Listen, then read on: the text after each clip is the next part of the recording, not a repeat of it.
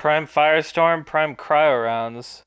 Prisma Lenz? What? What? He's selling Prisma Lenz? It's a new weapon. What?